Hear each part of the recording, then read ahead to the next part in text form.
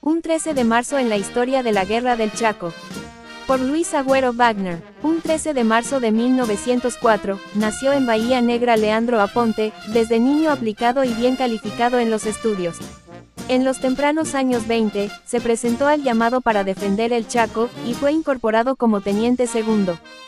Se incorporó a la Escuela de Aviación Militar, entonces bajo dirección de la Misión Militar Francesa, de donde egresó como el mejor graduado a fines de los años 20. Fue el jefe de la primera escuadrilla de cazas Ribaud, publicando por entonces textos que fueron declarados de gran utilidad por las autoridades. En la Guerra del Chaco, participó en Boquerón y en el abastecimiento de agua en Strongest, además de realizar misiones en los cazas Fiat que llegaron en el segundo año de la guerra.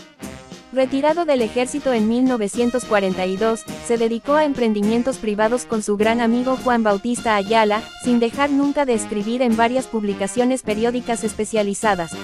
Varias revistas publicaron sus experiencias y memorias, recordando a los grandes protagonistas del enfrentamiento bélico.